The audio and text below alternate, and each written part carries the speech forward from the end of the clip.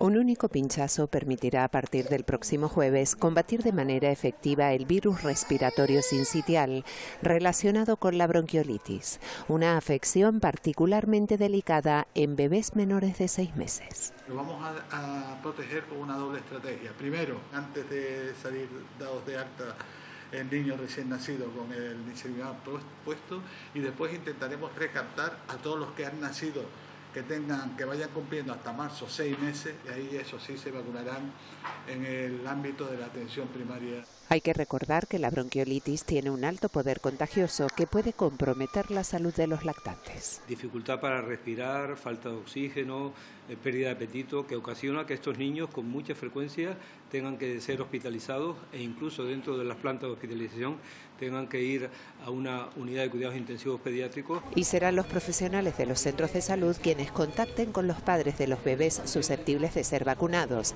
es decir, los niños nacidos desde el 1 de abril de 2023 hasta el 30 de marzo de 2024.